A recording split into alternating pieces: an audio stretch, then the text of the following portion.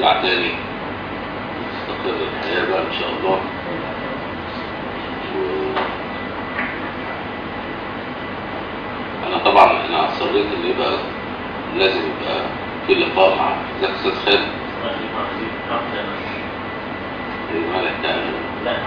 تعبان